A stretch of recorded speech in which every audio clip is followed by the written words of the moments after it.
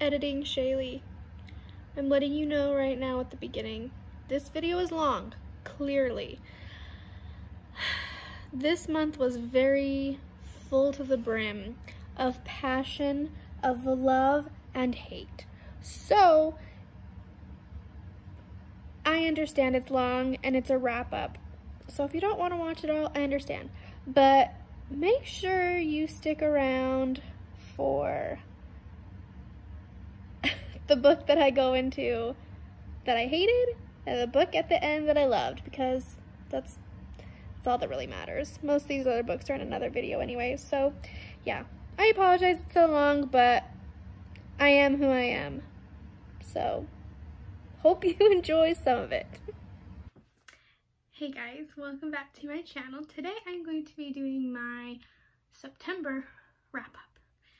And uh, as always, this is not what my wall looks like. I tried to put wallpaper on this wall and I bought it from Amazon and I don't even know why I attempted. I put one, this one sheet up and decided it was very ugly. I didn't like it, but it's just in the shot and it is what it is. I still haven't taken it down because I haven't decided what I'm doing. Anyways, um, so this is my first month. If you watched my last video, um, I talked about how I'm not going to be doing the star rating system anymore. Just a sec, I have lines on my face. Okay, light probably just changed. Sorry if you can hear people outside. This is my life. We all know this. It is what it is. So anyways, this is the first month of me skipping the star rating system. I have uh, star rated these on Goodreads and probably some other places because I didn't start deciding that until the end of the month. But anyways, let's keep this as short as we can. So we'll just get into it. I'm going to start with what I read first. And that is my new favorite book of the year into my top five favorite books of all time. The Reckless I Made by Bryn Greenwood. So if you're new to my channel or haven't watched me very much, um, I read All the Ugly and Wonderful Things by Bryn Greenwood and absolutely loved it. Like one of my favorite books of all time. And when I found out that she was putting this book out. I had actually put it on my Goodreads list before it had a title. I think it had a title, it didn't have a cover yet. I read this one as soon as I could. It was the first thing I read. I read it in like two days, which is crazy for me because this book is like over 400 pages. So I read it in like two days. This is amazing. Um, if you don't know what this book is about, it's very, very very different, different topic than All the Ugly and Wonderful Things, but the writing style is exactly the same, and that's why I love it so much, because I just absolutely love the way that the uh, All the Ugly Wonderful Things was written. I love Bryn Greenwood's writing style. I just think it's amazing. Anyways, this is about uh, a woman who is described as tall and redhead. What does she say? No one's fairy tale princess, almost six foot with a redhead's temper and a shattered hip. She has a list of worries. So she's kind of that, um, she's very sassy, very opinionated, doesn't take any crap. And she has a lot on her plate. Her, she was in a motorcycle accident and like I said, has shattered her hip. So she deals with that and that pain of it and not being able to do anything because she doesn't have money and so she is also like taking care of her mother who is housebound slightly bedridden she's very um, overweight and can't really do much for herself and then she has a sister who has a son and they kind of depend all on Z to pay for everything and help them out. And so she has all of that and she can't afford it. She tries to do odd jobs, but most of the time she just uh, is kind of like a drug smuggler. She just smuggles like weed and stuff. And anyways, in her physical therapy, she meets a guy and his name is Gentry. And this is such a complex book to explain, but basically Gentry is on the autism spectrum, which is the topic that is so near and dear to my heart. I just absolutely love reading stories and characters on the spectrum. Again, if you don't know, my daughter is on the spectrum, so it's something that I just love a whole lot. And so he's just the sweetest. And this is where this book is hard for people. I wrote this in my Goodreads review that I just really appreciate what Bryn went for. I think she probably knew that Gentry's character was not going to be for everybody, but he is one of the most realistic, realistically portrayed autism rep I have seen in a book. So he is basically how he learned to speak is by going to not Renaissance fairs, but like Renaissancey night battle things. I don't know. Can't remember what they're called.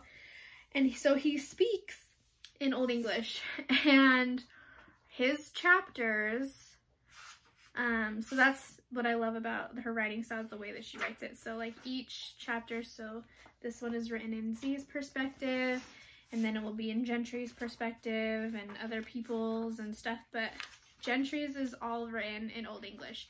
And even for me, some parts are very hard to understand and it kind of takes you out of the story if you're not used to it and stuff. But if you know anything about autistic people is a lot of times when they find something they love, like you're all in. right now, my daughter, um, she's for the last couple years just animals in general. Everything in animals. She doesn't speak yet. She's almost five. Um, but the things that she does say are animals. She knows every animal, every sing animals I didn't even know existed, like a quokka. She knows all these all these birds and everything. Anyways, so she's absolutely obsessed. And so that is just Gentry's life. He believes that he is a knight and he has these voices in his head. There's the Black Knight, the Witch, Oh. It's the Black Knight, the Witch, and some other guy, and it's kind of like these voices in his head that but he sees, and the Black Knight is kind of the one who peps him up and kind of gives him his gusto, and the Witch is this spiritual guide for him, and so a long time ago, the Witch told him that one day he was going to um, be what is called a champion to a lady. I can't remember what the lady's called, but so he's waiting for this woman to come and he sees Z in physical therapy and he, the witch, tells him that that's his lady. And so he just believes that he is her champion. And some horrible things happen to Z and her family and things that she has to do. And Gentry, it's not even so much that he loves her in the beginning, it's just that he wants to be her champion and will do anything to protect her and keep her safe. And so he goes along with her and it's just, it's so great. I've heard people just saying they don't enjoy this story and that's fine. Again, everyone has their own opinion, but I loved this story so much and I just want to read it again. I might do a reread of both All the Ugly and Wonderful Things and The Reckless Oath just to like do it all again because I just love it so much. Okay, I promise I'm not going to talk this much about every book, but I just love this book so much and I just, I will love it forever and ever and ever. So lastly, I'm just going to talk more about why I love the writing style. It's exactly what I think about when I need it in a book because there are quite a few perspectives, but there's only really two. There's Gentry and then there's Z that make up the majority of this. But you'll ran so be like one chapter of Z, one chapter of Gentry, two chapters of Z, and then all of a sudden you'll get a chapter of her nephew. Marcus, oh see, I turned right to it, Marcus. He's chapter 18. And you'll get just a couple pages right there. It's only two and a half pages and then it goes back to Z. It just gives you this little teeny taste of you when I'm like wondering when something's happening. I'm like, well, what is Marcus thinking? Like, what is, and it just gives you that, it gives you that little bit and then that's it. You don't need to know. It doesn't go deeply into these other characters. It just helps build the story in a more full and just glorious way that I love so much. And I wish every single book was written that way. It seriously, ugh. And then Bryn's characters are just amazing. I mean, I'll remember Gentry and Z forever. They will live in my heart forever, right along with, uh, now I'm not gonna remember them because I didn't do it for a video. Any other time I can tell you what the characters from her other one is. Let's see I can think real fast. Wavy and Kellen.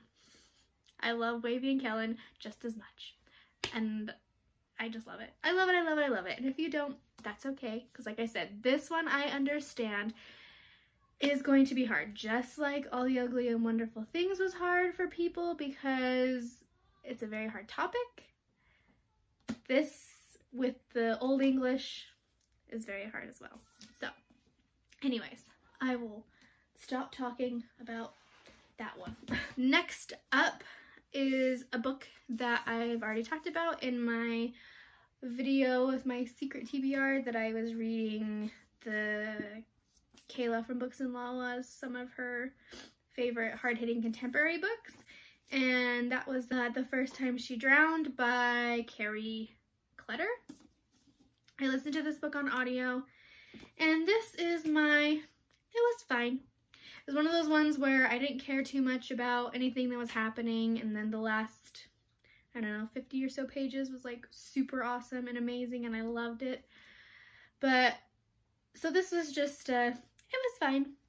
I'm sure there's tons of people that absolutely love it. And I think that, I mean, you should read it if it interests you. It's about a girl who is first starts out she's in a mental institution that her family put her in. She's been there for years and she's finally turning 18 where she's able to release herself and she's going out into the world. She starts in college because she doesn't want to go home, but she doesn't really want to go to school. And it's just really mostly about um, it's her relationship with her mom and the toxicity that it is.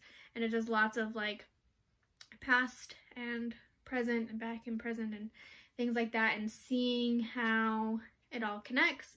I just didn't love it. The character, her mother's character, and even her character, I don't remember her name. What's her name? Cassie. Both Cassie and her mother's characters, I think were meant to be unlikable characters, but I just really did not like them. I didn't care about Cassie and I couldn't stand her mom. She just infuriated me, but that was the entire point of the mother role at least. And so, yeah, I think it had some good points. I enjoy a book when there is like some love, some uh, factuation in it, but that's not the main topic. I think that if a book can do that well, it's a good thing because I don't think that only books need to only be written about a boy and girl falling in love, you know? So I enjoyed that aspect, that there was that, but it was not the main focus.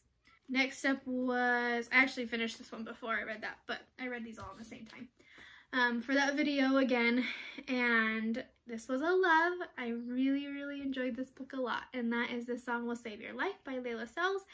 And this was just so sweet and so perfect and just one of those books. I explained it in that wrap up as well. is just like, it's just like a movie for me. I love when a book doesn't take me much to like get into it and see it. It's just written in a way that it just flows so nice and I'm able to just see it all. And even when I put the book down, I pick it back up and I'm right back in. I just love that. And I was really hesitant going in because this is about a 15, 16 year old girl and I just thought it was to be really immature because that's my complaint about YA. It's just the immaturity of characters, which is fine. I mean, they're allowed to be immature, but I just don't think I enjoy reading that anymore. And so she wasn't at all. She was very mature for her thinking and very, had great thoughts and I loved the music. I'm a huge music person. So I really connected on that level with it. So the music was awesome in it. I love, I think it's way super cool at the end of this book, just the stuff that she has in it. Um, well, first let me talk about what it is and then I'll tell you what's at the end. So it's about a girl who is really struggling with finding out who she is and she in the beginning of the book wants to just be cool and be popular and so she tries to change herself to be accepted into like the cool group because she's just always been made fun of and bullied and she's sick of it and so she buys all the cool clothes and does all the cool stuff and it still doesn't make anyone want to eat lunch with her or, you know and so she stumbles upon in this late night walk this kind of like underground hidden disco, but not disco, um, eh, what am I thinking? What is it called? Underground Dance Club. Yeah. And she falls in love with DJing and just the joy of meeting other people who are into music like she is and just the feeling of being a DJ and what that brings for her and she meets some really cool new friends and just interesting characters. The characters were super awesome. I love them all. They're very colorful and just fun to read.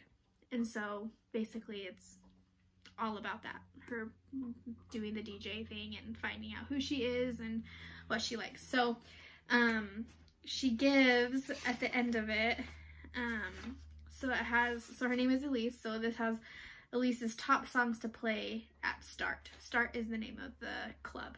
So it lists all of these songs and the artists and then it has Elise's top 10 songs for walking at night, Elise's top 10 songs for studying, 10 breakup songs, and then she gives you a bunch of like discussion questions that you could use in like a book club type setting and just it this was just awesome. It was really short.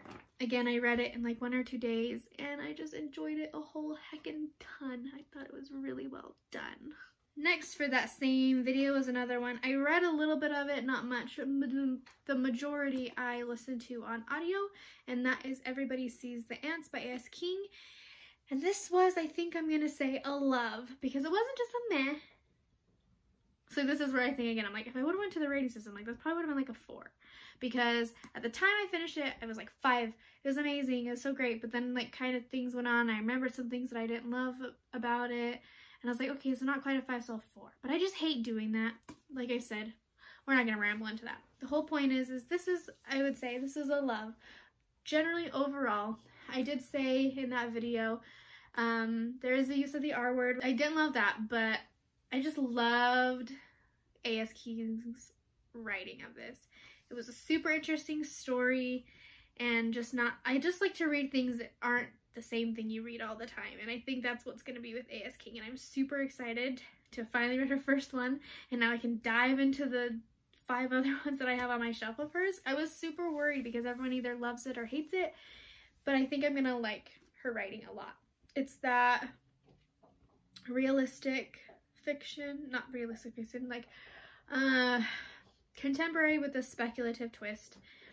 And this is about a boy who, again, is being bullied. It's funny, I had a lot of, read a lot of mother-daughter hard relationships and a lot of young kids being bullied. That seemed to be the theme of this month.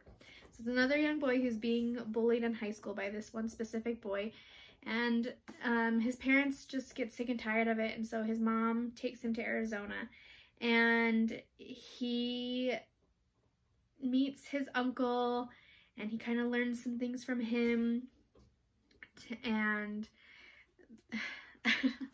the the the main part of the story the part that's the gripping that everybody sees the ants part is since he's a little kid he has been dreaming of saving his grandpa from Laos from the Vietnam War because he was lost and never found and it was his grandma's dying wish for him to be brought home.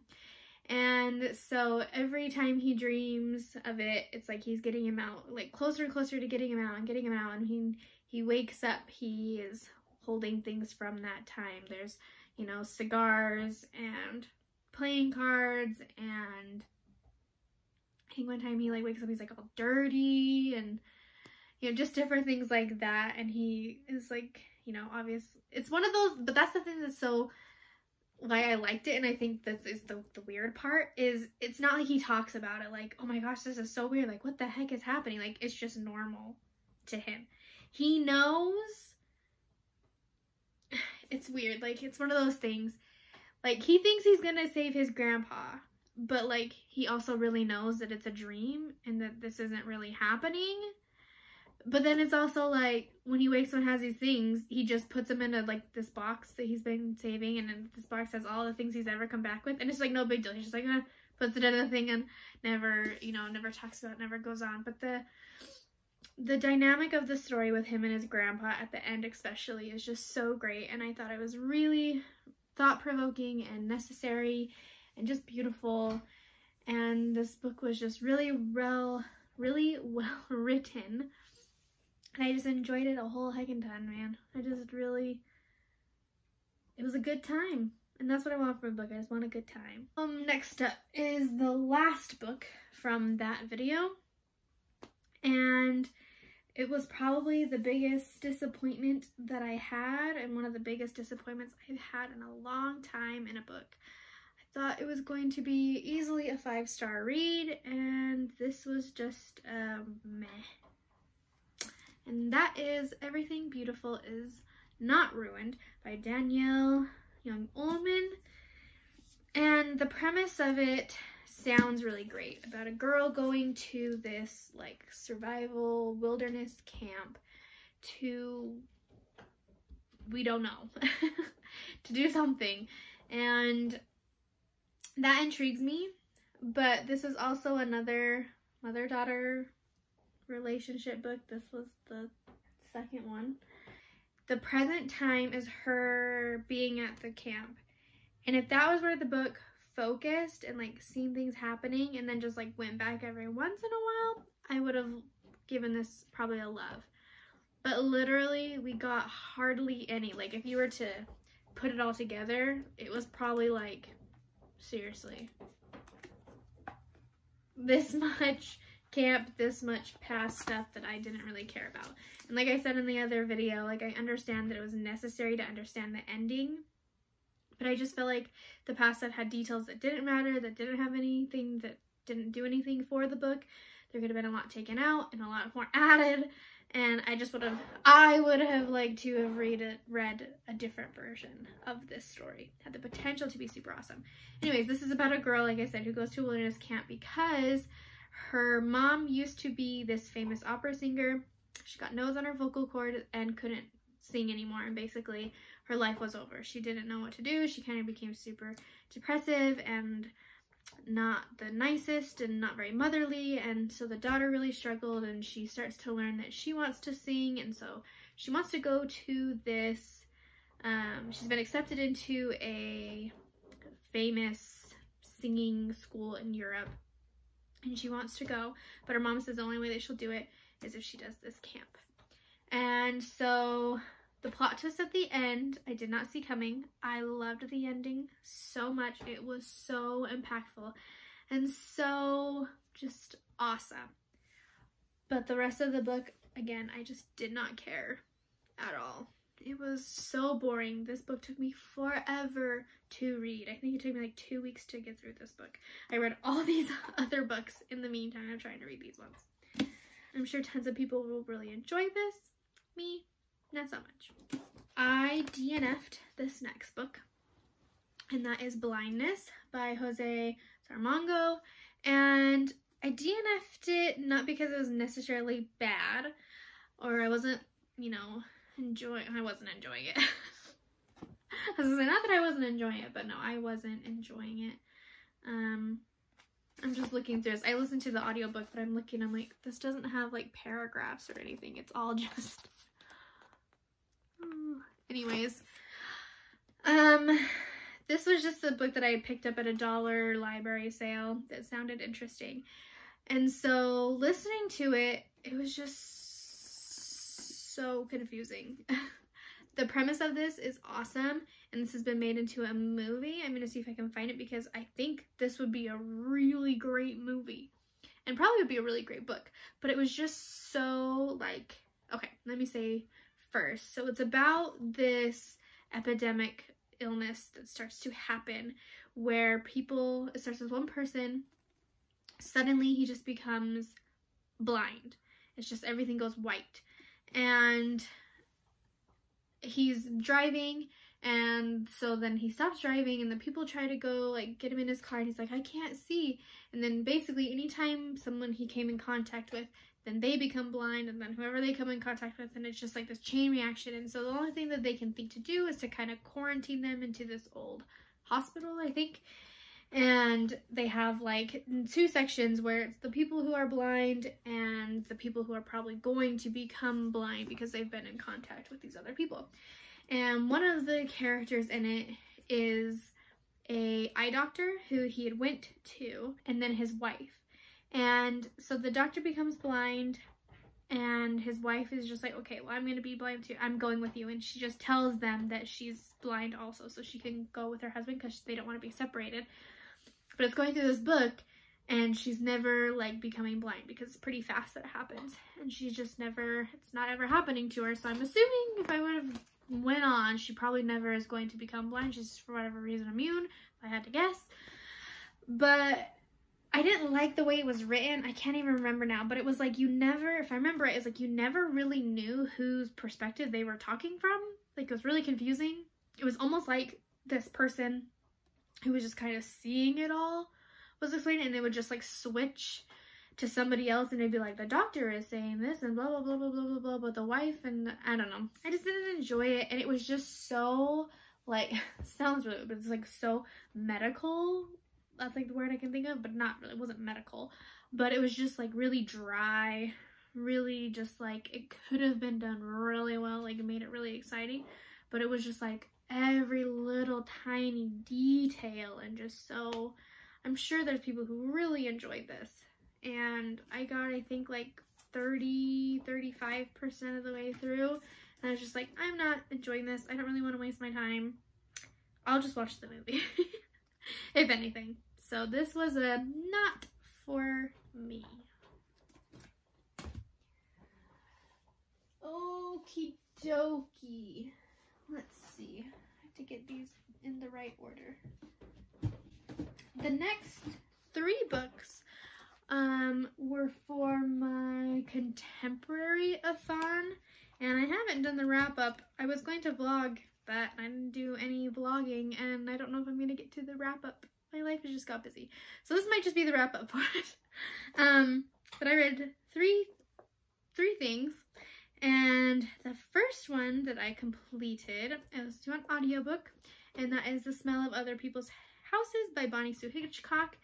And this was a love this book was really good. I would this is where it's hard like I have to make those decisions. I really would have liked to have physically read this book but for the time reasons and it was the only one that I had an audiobook for for Contemporary Thon I just listened to the audiobook but the audiobook was done so well and so nice and I just really enjoyed it. It's just just short little nugget of goodness that I think is important.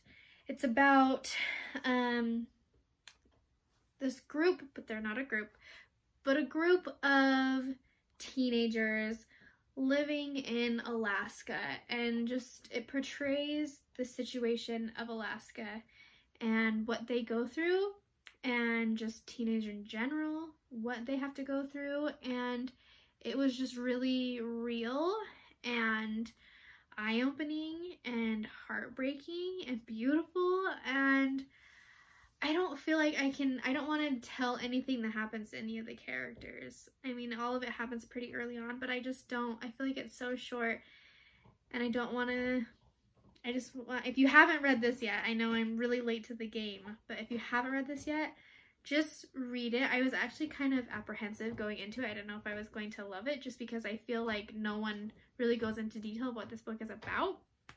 And so just didn't really intrigue me but it's really good. Each kid, you kind of know throughout the story that somehow they're all gonna tie together, and as the story goes on, you see you see how they tie together, and in the end, and it's just so good, and just really beautifully written. So there's Ruth, Dora, Alice, and Hank. Says Ruth has a secret that she can't hide forever. Dora wonders if she can ever truly escape where she comes from, Alice can't bring herself to lead the life she's always known. Hank and his brothers decide it's safer to run away. So, yeah. If you haven't picked it up yet, just pick it up.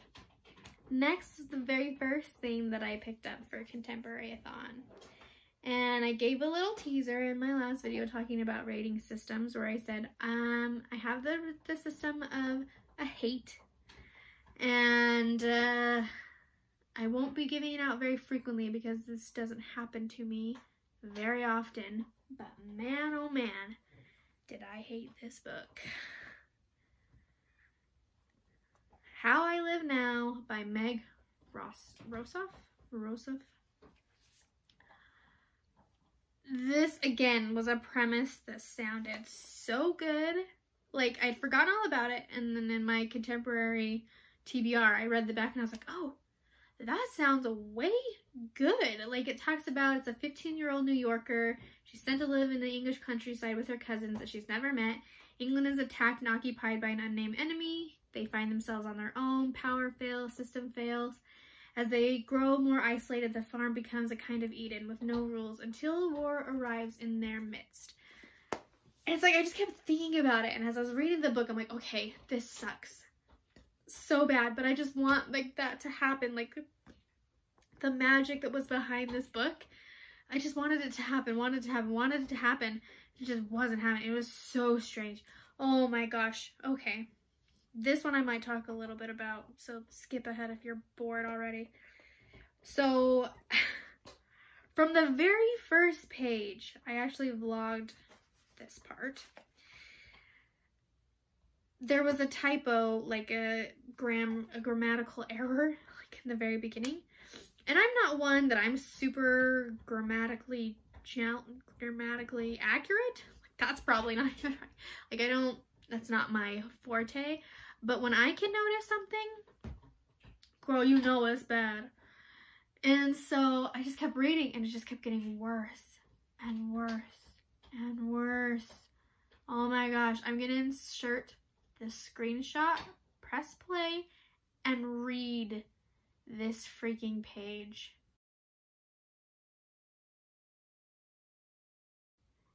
And this was just a taste.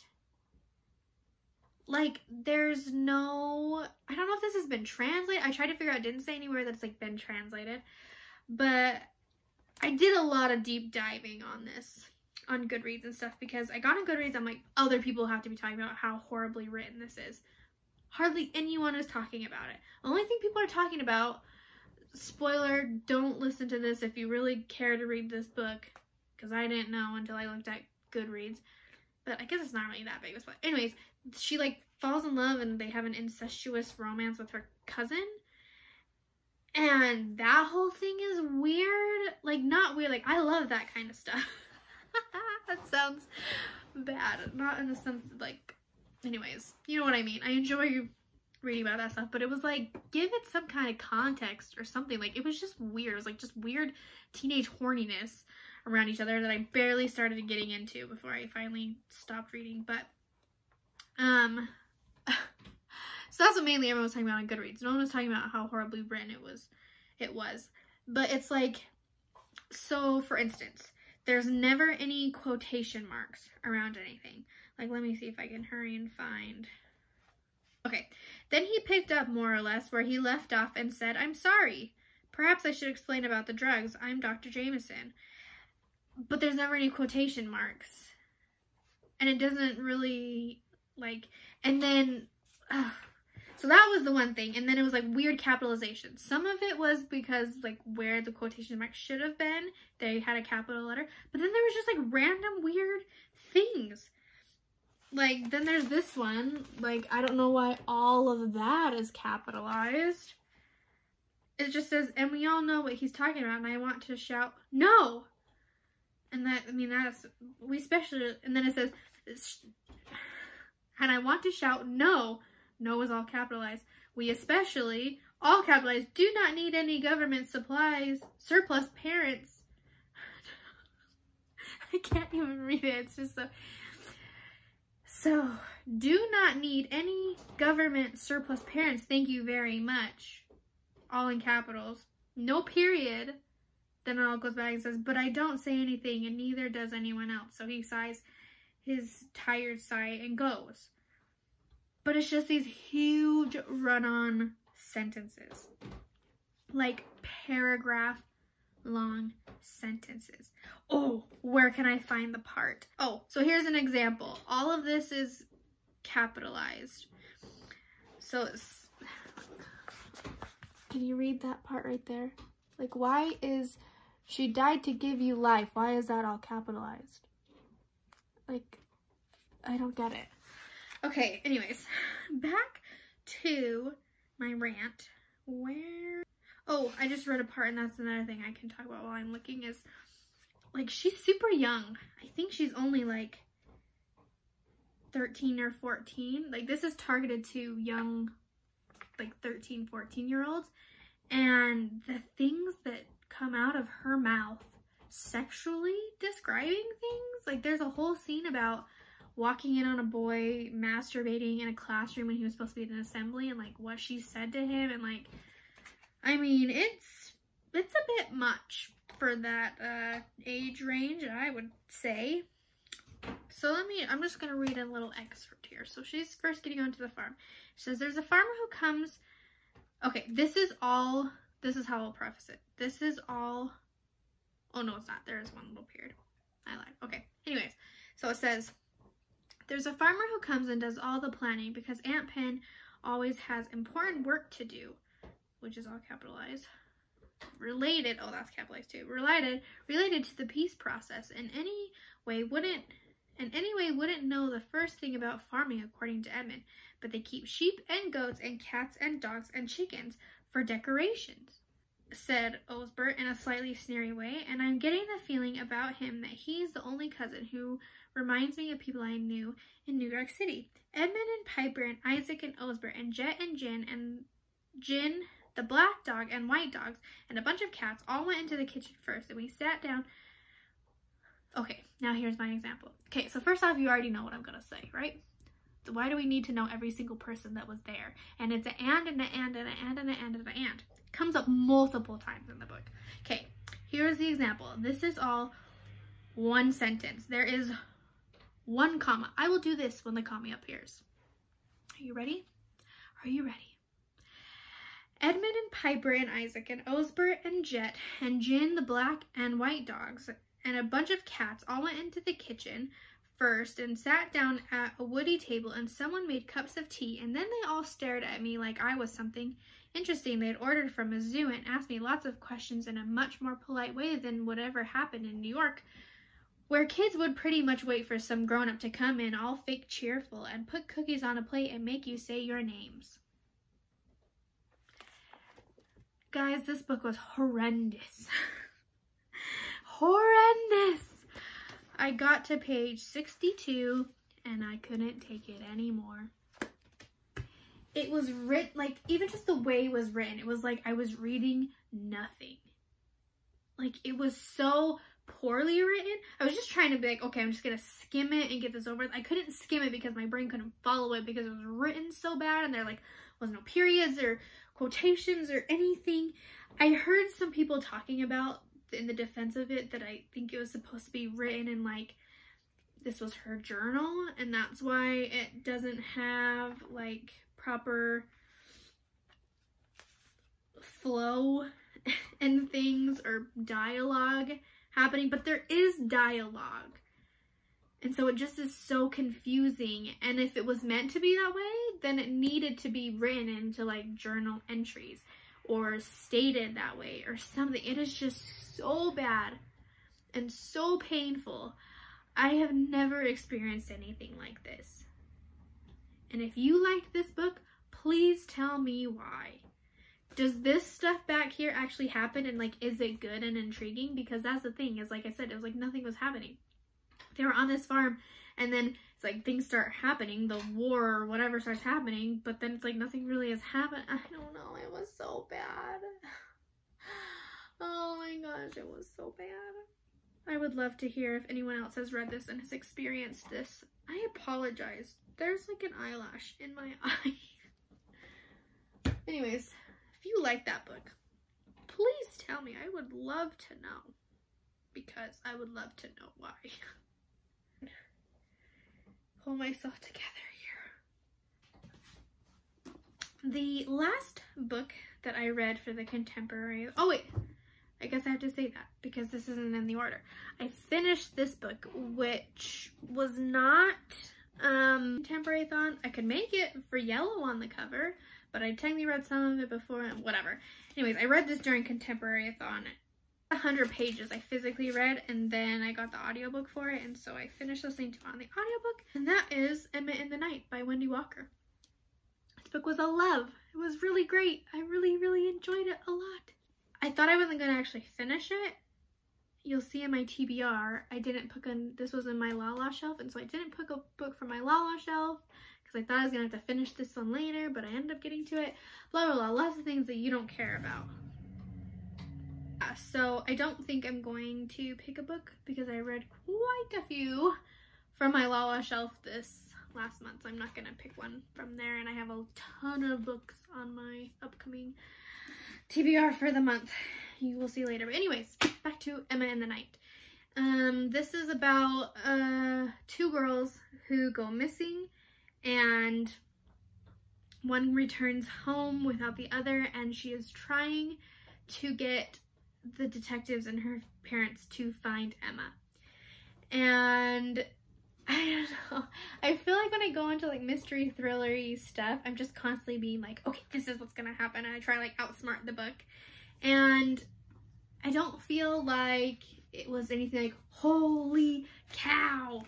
Like I kind of, like I, I knew, but I didn't exactly know. Like I kind of knew it was gonna go, but there was a few little things that were different than what I thought was gonna happen.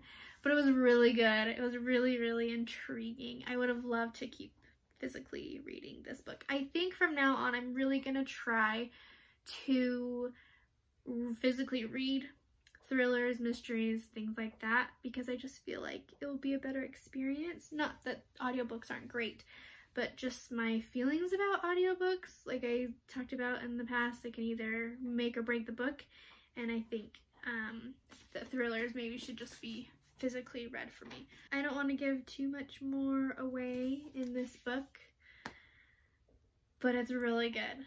I don't really know if this is young adult. It's almost kind of like, mm, like new adult. Yeah.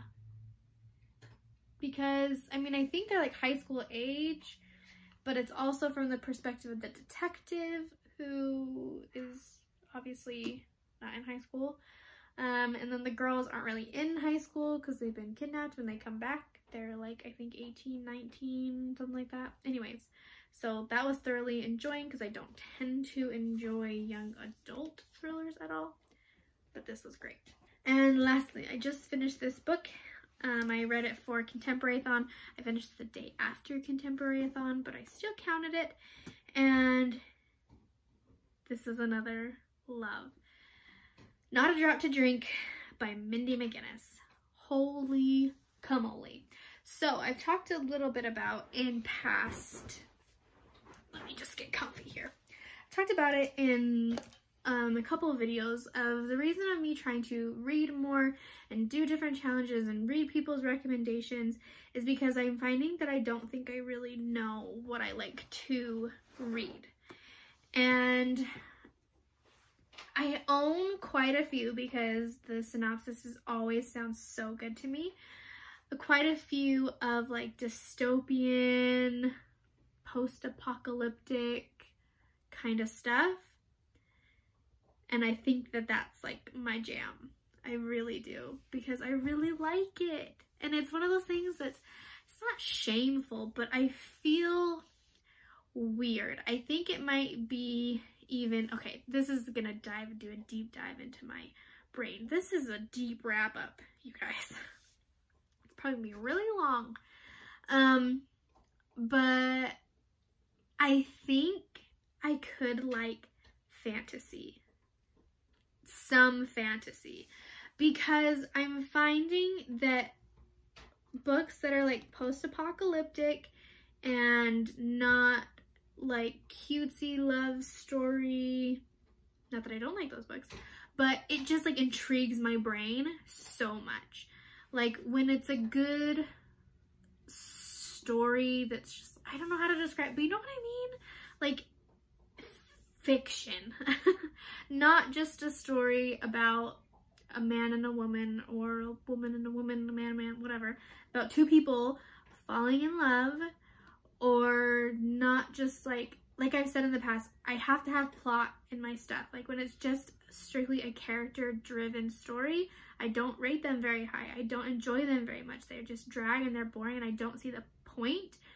They just aren't that good to me. I need just like a good story. And these are generally so interesting and actiony and like just really keep my attention and like physically there were so many times reading this book that I was just like I'd be reading it. It was literally this was me be laying in bed, and then I'd just be like, ah, oh my gosh, or put it down, just, oh, like, why? Like, oh my heck, this book, let me tell you what it's about, since I haven't done that.